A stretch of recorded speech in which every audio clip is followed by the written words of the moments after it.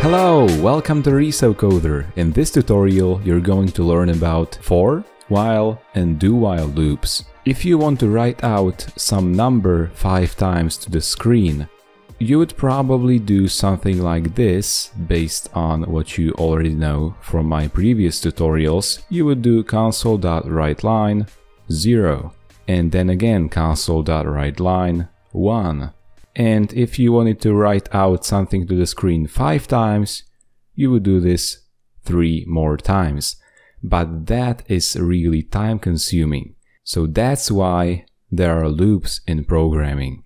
Let's start with a for loop. I'm gonna write out for loop and then I'm going to go through in detail what each of the things inside the loop actually does.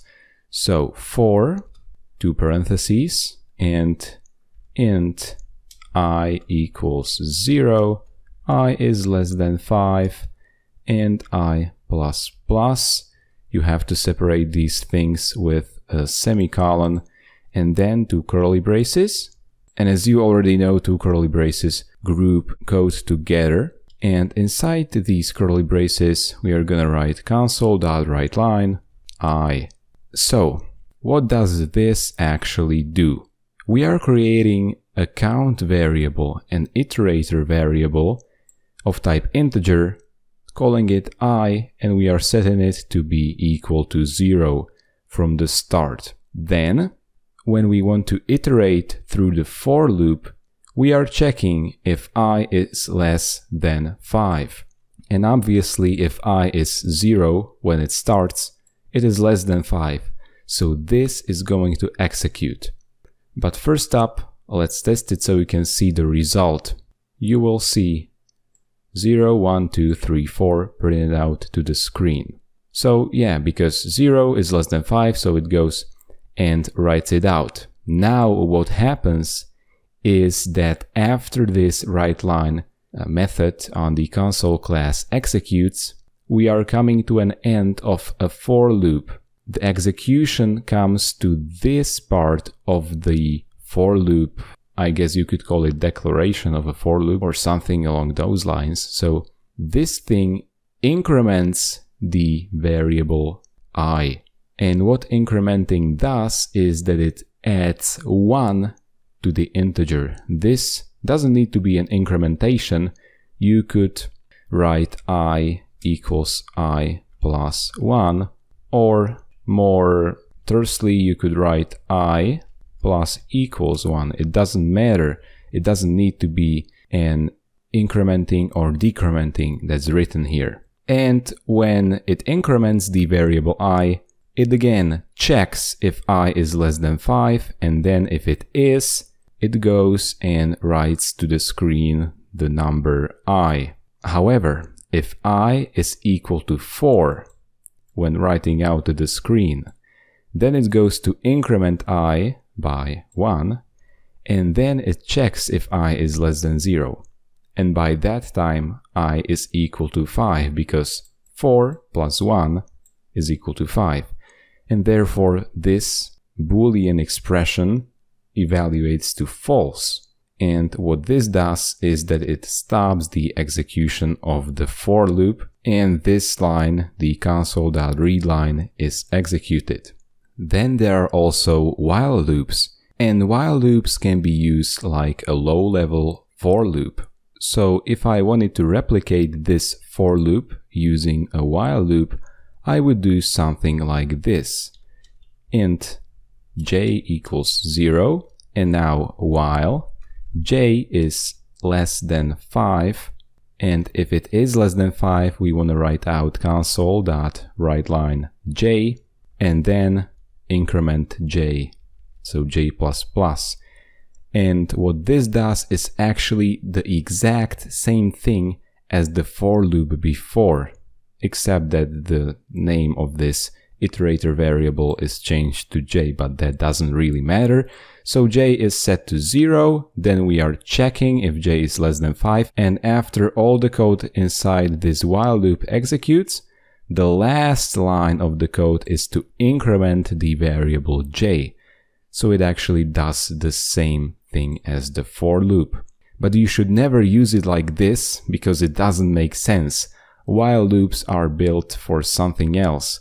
Because for loops are less hassle to write and when something is less hassle to write, it's better. So as you can see, the result is the same. Normally, we use while loops when we want to repeatedly do something in a loop until some condition changes to false. So let's create a string, while string, and it's gonna be equal to cakes.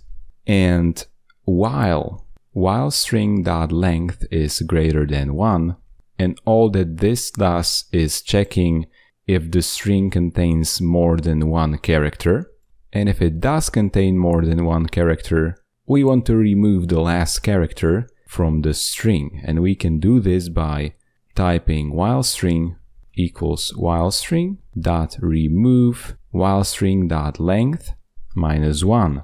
What this does is that it removes the last character which is located at an index one less than the length of the string. And I know that you probably don't understand what I've just said, but in the next tutorial we are gonna be talking about arrays and string is basically an array of characters, so it's gonna make more sense to you. And then we want to write out the while string, so we are gonna write console.writeLine and result and concatenate the while string.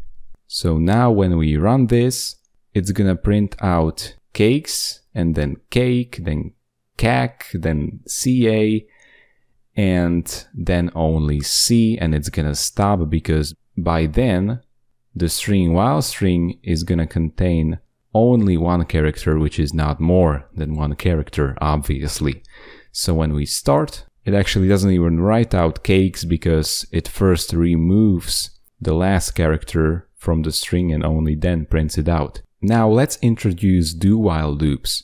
And do while loops work just like regular while loops with one exception. The code inside the curly braces runs before checking the condition, which means do while loop runs at least once, as opposed to while loop, which can happen to not run at all. So we are gonna create a string, do while string, and it's gonna be equal also to cakes, and then do to curly braces, and inside we actually want to put the exact same thing as in the while loop, but we are going to change the while string to be do while string. And then after this second curly brace, we want to write while and condition, which is going to be do while string dot length is greater than 1. So as you can see, this basically resembles the while loop, the only difference is that it's gonna run at least once no matter what. And when we run this, you will see that actually while loop and do while loop are doing exactly the same thing. However, when I change the while string to be just C, and also the do while string will be also just C, there's gonna be some difference between do while and while loops. So when we start now, it's gonna print result and the result is basically nothing. Now, which one of these two loops wrote this result to the screen? Well, it was this do while loop. Because when while string is just one character long, this while string dot length is greater than 1 is gonna return false it's not gonna be true because one character is not more than one character, is exactly one character. So therefore this while loop doesn't execute even once. And I can prove that by deleting this while loop. And now when we run this, it's gonna print out result. So now we know that this do while loop is actually printing out the empty result. And why is it doing that? Well, do while string is just one character long, but the do while loop checks if the do while string is longer than one after the first execution of the loop, because do while loops first do things and only after that they check. So it's gonna remove the last character from the do while string, then it's gonna print it out to the console and only then it's gonna check if it's greater than 1 and obviously by then it's gonna be 0 the length is gonna be 0 characters because the last and only character was removed so it's gonna stop the execution of the do while loop.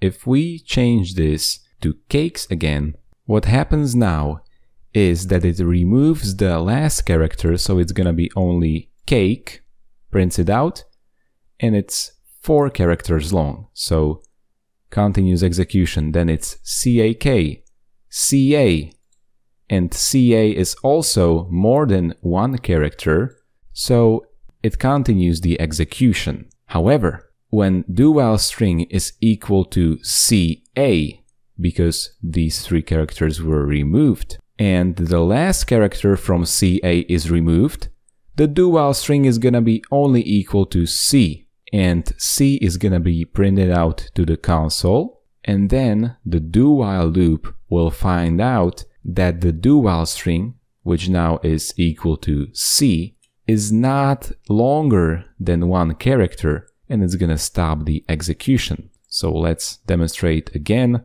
As you can see, no empty result is written now, as opposed to when the do while string is just one character long, then even the empty result is printed out. So that's the huge difference between do while and while loops.